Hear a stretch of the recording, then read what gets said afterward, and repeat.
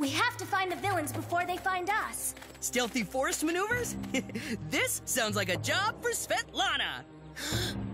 Oh, goody! She's my favorite. Svetlana, is that you?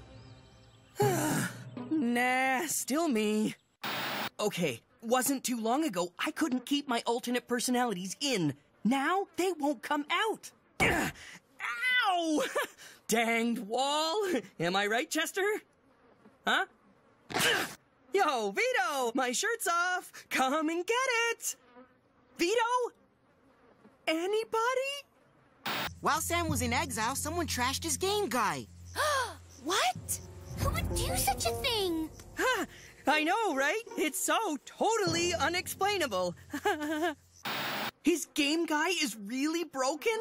I thought that was just a weird dream. What's happening to me?